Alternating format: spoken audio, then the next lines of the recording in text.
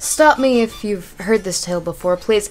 I could swear it's one I've had to reproduce. It starts off with but a humble meme and blows up fast, then fades midweek. But wouldn't you know it? Despite, even though it died off, you'd suppose that the sinister would rest easily.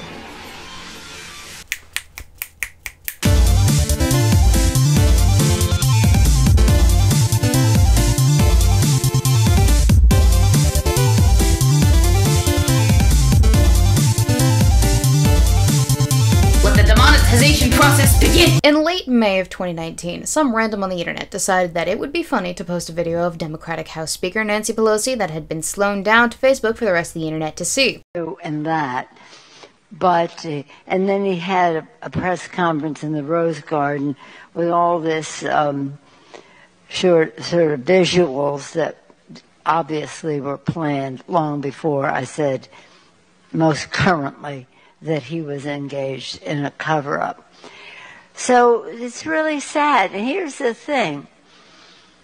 And I told this to the room when he came in and made that statement, and then he walked out, and you got the Secretary of the Treasury, got all the this, that, and the other thing, and a distinguished group of members from the House and Senate, Democrats, said, you know, 200 years ago, Thomas Jefferson tasked his Secretary of the Treasury the other one was standing right there, to uh, to develop a, a infrastructure initiative for America to build into the Louisiana Purchase, the Erie, the um, uh, Lewis and Clark expedition. It was the Erie Canal, the Cumberland Road, all those kinds of things for our America. Hundred years later, Teddy Roosevelt instituted his infrastructure initiative, the National Park Service, the Green Initi-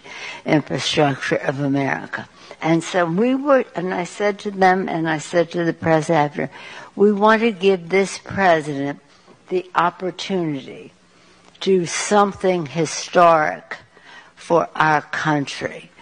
While there are those in our family who think, why would you work with him if he you know, and and basically he's saying back to me, why would I work with you if you're investigating me?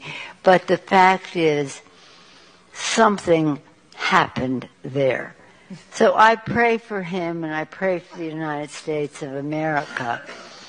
Uh, it's really, he, he walked away. Whether he ever intended to honor what he said before remains.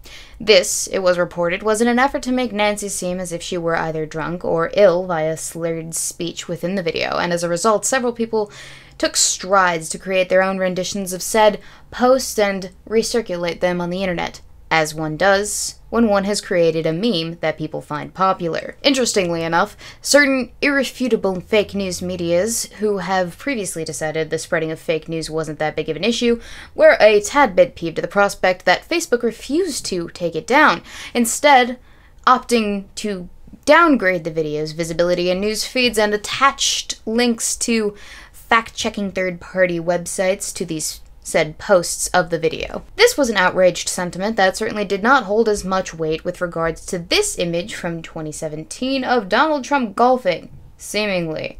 However, if you take a closer look, you'll notice that the face of Donald Trump was photoshopped onto that of a different golfer. I didn't even know this was a doctored image until this recent Pelosi video scandal happened, people.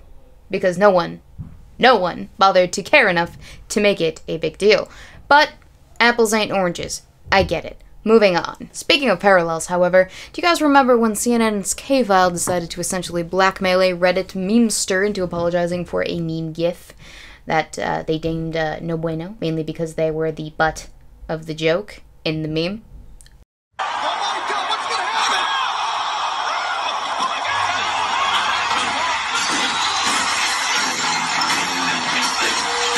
Do. I'm not in the business of forgetting such nonsense.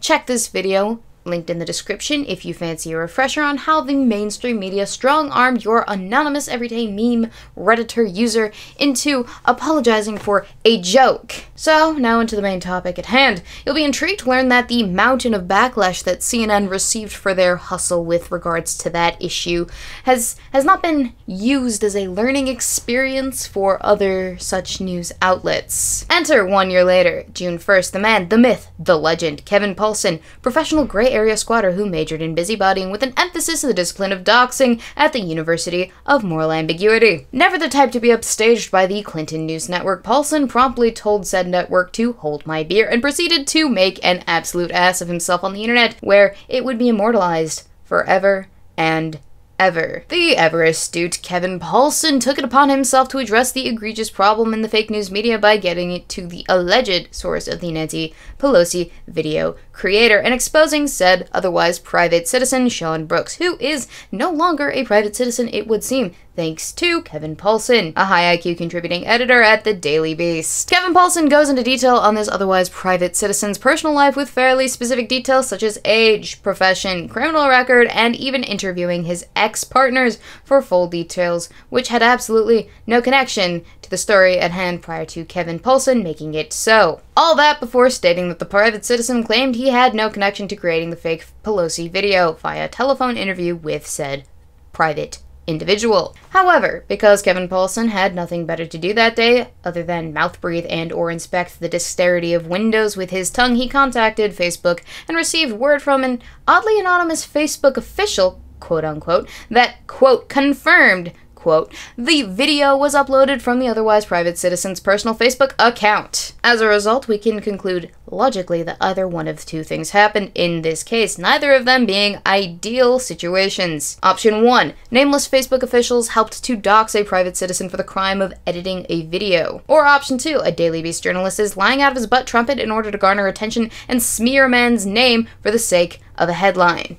Anyway, it's been less than two days, and already conservative news outlets have honed in on this article, calling a spade a spade. Furthermore, our private citizen has started himself a legal fund he intends to use to sue, which, if you're interested, is linked in the description down below. As I said, it's been a few days, and since the uploading of this article, Kevin Poulsen, the author of this article, who in June of 1994 pleaded guilty to seven counts of conspiracy, fraud, and wiretapping, and was sentenced to five years in federal penitentiary as well as banned from using computers or the internet for three years after his release, is not backing down from his stance on Twitter.